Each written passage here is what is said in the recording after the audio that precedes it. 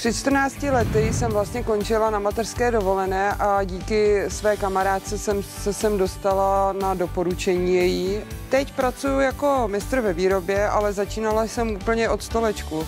Cesta do práce mi trvá 14 minut, ale kdyby se mi auto rozbilo, tak mám možnost využít městské dopravy, anebo vlastně máme i firemní.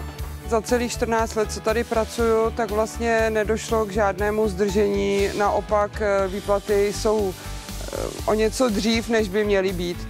Kolektiv super, většina žen a chlapy tady v Křimicích si docela opečováváme, protože jich je tu jako šafrán.